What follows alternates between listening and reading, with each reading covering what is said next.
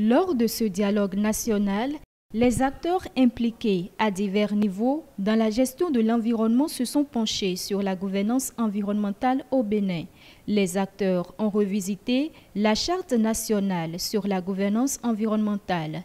Ils en profitent pour faire de nouvelles recommandations. Il a été eh, recommandé d'aider l'État dans la promotion de l'éco-citoyenneté et de s'associer aux autres acteurs pour une meilleure gestion de l'environnement.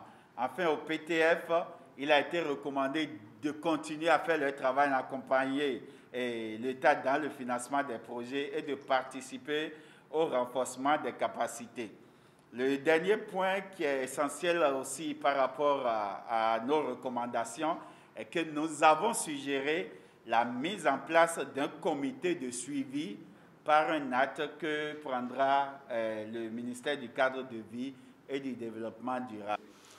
Autre chose qui nous a préoccupé, c'est la méthode à utiliser désormais pour avoir une gestion rationnelle de l'environnement, une gestion participative, une gestion concertée. Et c'est dans cette optique que nous sommes venus à ce forum. La préservation de l'environnement nécessite l'apport de tous. Un acteur non moins important mais souvent négligé, le citoyen lambda. Le ministre de l'Environnement et du cadre de vie y met l'accent. Il y a un, acteur dont nous ne parlons pas souvent, euh, qui est le citoyen lambda, mais qui est, de mon point de vue, l'acteur essentiel de la gouvernance environnementale.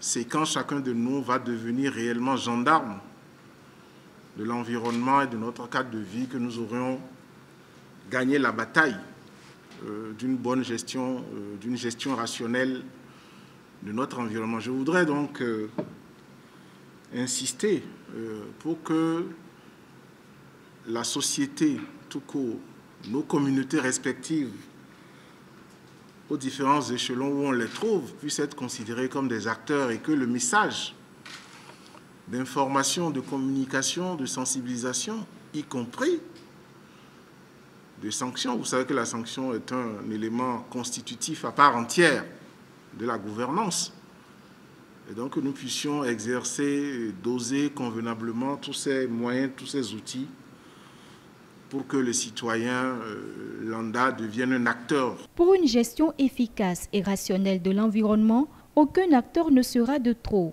Ce dialogue national réjouit les parties prenantes et les partenaires au développement félicitent l'initiative.